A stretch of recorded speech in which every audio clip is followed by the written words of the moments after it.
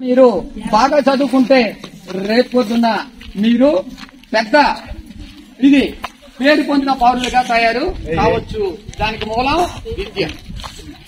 నెహ్రూ గారు భారతదేశం కూడా బాగా తెలుసుకోవాలని నాన్న ఎక్కడ పంపించారు ఇంగ్లాండ్ పంపించారు బాగా తెలుసుకుంటే మా పిల్లలు పెద్ద పెద్ద పదవుల్లో పెద్ద పెద్ద ఉద్యోగాల్లో ఉంటారని పంపించారు కానీ మన ఒరిస్సా గవర్నమెంట్ మనకు ఫైవ్ సి అనే ఒక ఇది ఇచ్చిన అవకాశం. అంటే ఒకప్పుడు లేని సదుపాయాలన్నీ ఇప్పుడు కల్పిస్తూ మీరు బాగా చదువుతూ నేటి నేటి బాలల రేపు పౌరులుగా బాగా ఎదగాలని ఈ దేశ దేశ అభివృద్ధిలో మీరు కూడా ఒక భాగస్వాములు కావాలని అనుకుంటుంది ఇప్పుడు వచ్చిన ప్రభుత్వం. ఇప్పుడు మన ప్రధానమంత్రి నెహ్రూ ఎలాగనుకుంటున్నారు? ఇప్పుడు నవీన్ పట్నాయక్ కూడా పిల్లల గురించి అదే అనుకుంటున్నారు.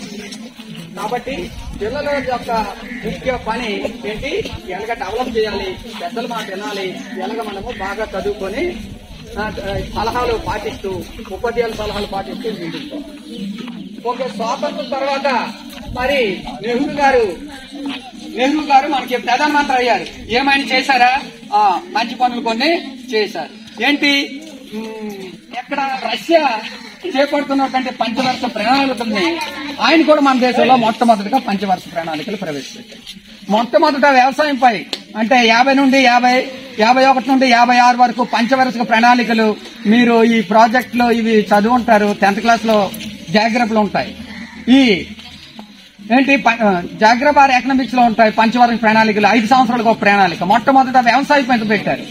వ్యవసాయం మీద పెట్టిన తర్వాత గోధుమలు ఇవి బాగా పంజాబ్ ఇప్పటికి వచ్చిన గోధుమలు బాగా పండుతాయి. ఎక్కడ? పంజాబ్లో ఈ పంచవరం ప్రణాళిక మంచి మంచి విత్తనాలు పెద్ద పెద్ద డ్యాములు ఒక ఐదు సంవత్సరాలు బాగా ఆ రోజు మా నెహ్రూ గారికి మన అభివృద్ధి చేపట్టి మనకు చేతిలో. అంటే ఇప్పుడు మనకు కొనసాగిస్తూ ఉన్నాం. అదేవిధంగా నెక్స్ట్ పంచవర్తి ఆహార సమస్య తీరింది. ఏంటంటే కంపెనీలు పెద్ద పెద్ద స్టీల్ ప్లాంట్లు పెద్ద పెద్ద ఇండస్ట్రీలు అంటే హిందుస్థాన్ లిమిటెడ్ కంపెనీలు ఇవన్నీ తర్వాత పంచవర్ష ప్రణాళిక ఇతని కాలంలోనే జరిగాయి. అంతేకాకుండా ఈయన ప్రపంచంలో